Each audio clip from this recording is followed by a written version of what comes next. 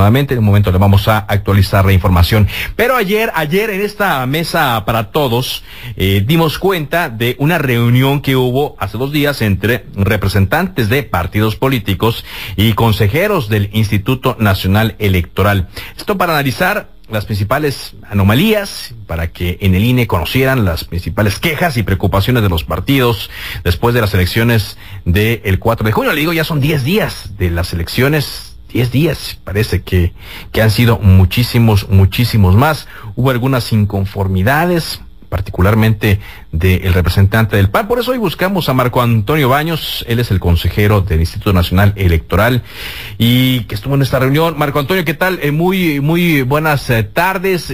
¿Cómo califica usted eh, la reunión en general? Gracias, Carlos. Buenas tardes. Un saludo para todo el auditorio.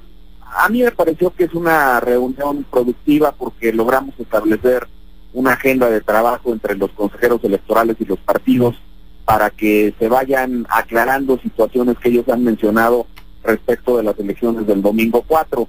Se listaron 10 grandes temas que van a ser objeto de un informe específico que va a presentar el instituto, entre ellos qué ocurrió con los conteos rápidos, particularmente el de Coahuila, qué eh, ocurrió con el corte del PREP, que se dio con el 72% de las casillas y que eh, en consecuencia se alejaron de los estándares que han tenido en otras ocasiones esos programas de resultados. También nos han pedido un informe particular sobre todo el proceso de capacitación de ciudadanos para integración de mesas directivas de casilla y nos han eh, solicitado que revisemos quejas con relación a la fiscalización de los gastos de los candidatos, la posible intervención de los gobiernos en este tipo de cuestiones. Entonces, es una agenda este, amplia que se derivó de esa reunión.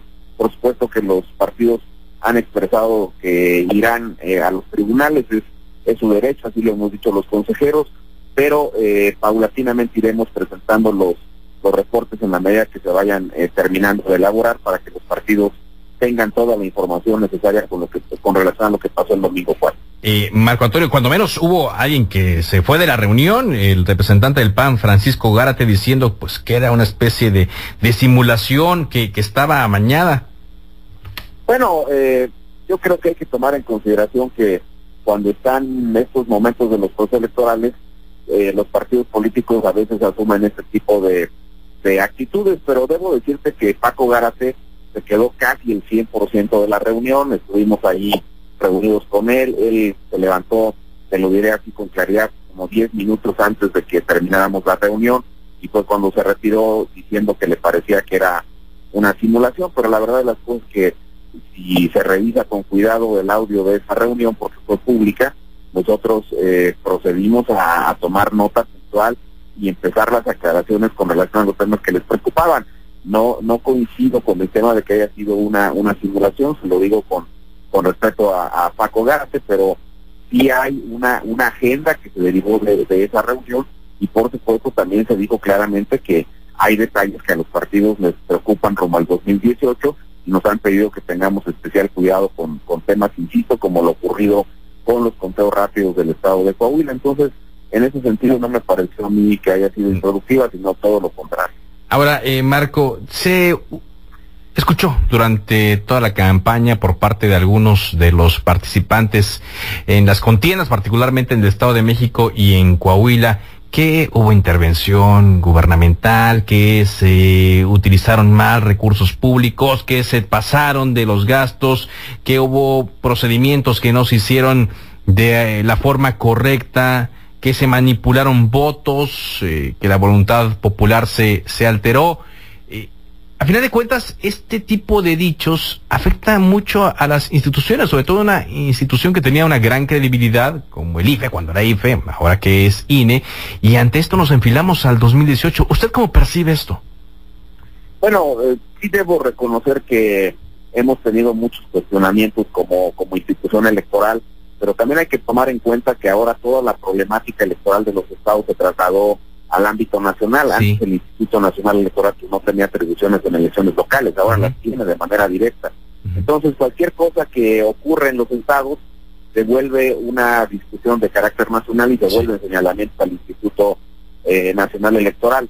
Tengo también la sensación de que eh, es eh, independientemente de que se trate del ICE o del INE, porque he tenido la oportunidad de ser consejero en las dos instituciones, debo decirte, Carlos, que independientemente de esa cuestión, terminan los procesos electorales y los partidos expresan su reconocimiento a la forma en que el instituto trabajó.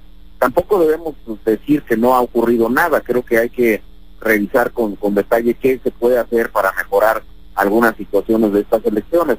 Debo decirte que con relación a la intervención de los gobiernos, también hay que aclarar que, que los grupos parlamentarios en las cámaras de diputados y senadores han estado cómodos con no emitir la ley de, que regule la propaganda y la intervención.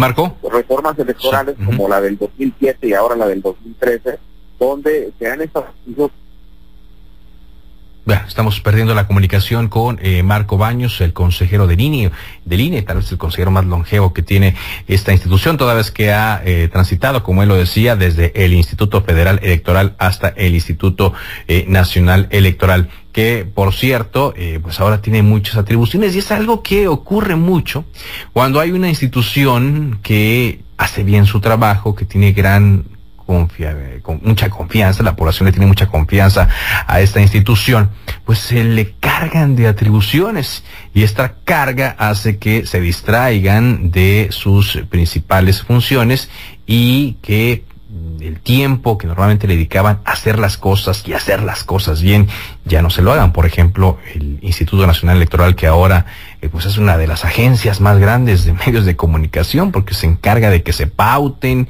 anuncios en radio y televisión, monitorea los anuncios y ve que estos se apliquen conforme a la ley. Así es como lo establece la ley. Decíamos, eh, Marco Antonio nos hablaba antes de que se interrumpiera la comunicación de que, bueno, pues eh, siempre después de una elección los actores políticos hacen sus aclaraciones, hablan de modificaciones incluso a, la ley y en esa nos encontramos ahora.